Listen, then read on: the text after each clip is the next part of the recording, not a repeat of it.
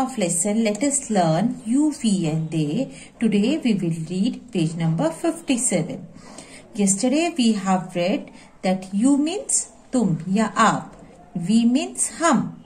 And they means we. Okay? Yesterday we read about you and we today we will learn more about it and along with it we will learn about they. When to use they Page number 57. Here in this picture, a lion and a deer. We can see lion and a deer. Yes, I am a lion. Lion says I am a lion. Lion अपने लिए क्या use किया lion ने I. So I am a lion. You are a deer. A lion is saying to deer that you are a deer. So you किसके लिए कहा? कि आप या तुम deer हो. We are animals. हम एनिमल्स हैं। लायन अपने लिए और डियर के लिए। दोनों के लिए यूज़ कर रहा है वी वी आर एनिमल्स हम एनिमल्स हैं। We live in a jungle हम जंगल में रहते हैं। Is it okay here in this next picture Ranjan and Anil. Both are standing here. Ranjan is big. Ranjan देखो big है और अनिल small है. Okay, so let us read. Ranjan is big. Ranjan big है. Ranjan big boy है और Anil is small. Anil is a small boy. They are in the same class. ये दोनों एक ही क्लास में सेम क्लास में दे किसके लिए यूज़ क्या बोलेंगे हम? दे इन दोनों के लिए यूज़ हुआ।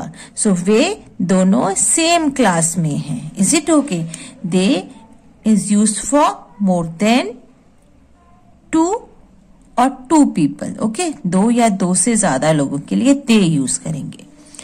Now the next picture Anuj और राजू यहाँ खेल रहे हैं। Anuj stand with the ball okay Anuj ये अनुज है and Anuj stand with the ball okay Anuj stand with a ball Raju runs with a bat and Raju runs with a bat so कौन कौन है ये?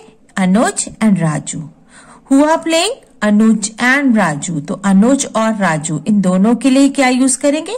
They they play in the park ये दोनों park में खेलते हैं। Is it okay now in the next picture here monkey and a cow we can see monkey and a cow okay it is a monkey it is ये monkey है। It is a cow और ये cow है। And monkey and cow both are animals so monkey और cow दोनों के लिए क्या यूज़ करेंगे? Monkey and cow are animals लेकिन हम मंकी और काव दोनों के लिए एक वर्ड यूज़ करेंगे।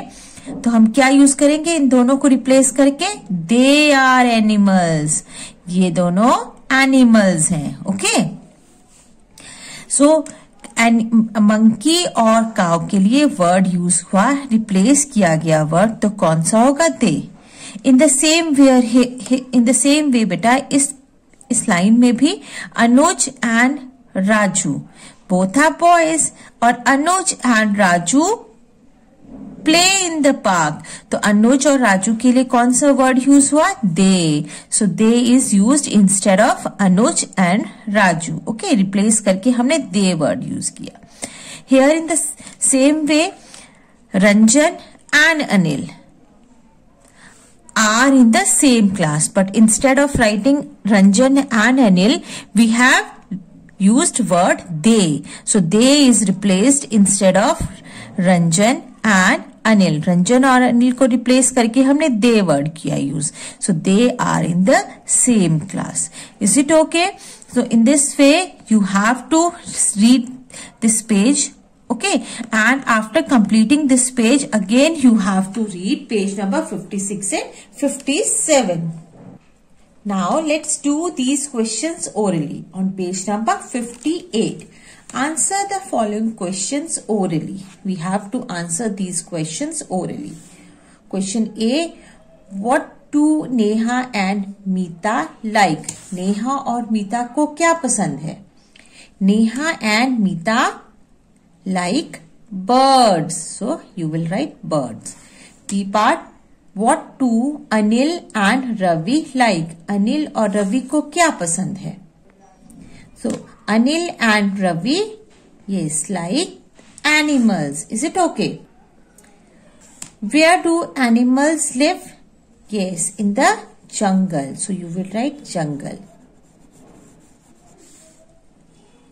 Animals live in a jungle d part where do raju and anuj play where do raju and anuj raju and anuj play in the park so beta instead of raju and anil Raju और अनुज की जगह हम क्या use कर सकते हैं yes they they play in the park who are in the same class who are in the same class कौन है सेम क्लास में Ranjan And Anil okay who are white and brown in colour कौन है white and brown colour में yes so ducks D U C K S so बेटा read lesson and we will meet again tomorrow with a new video. Till then, bye bye and take good care of yourself.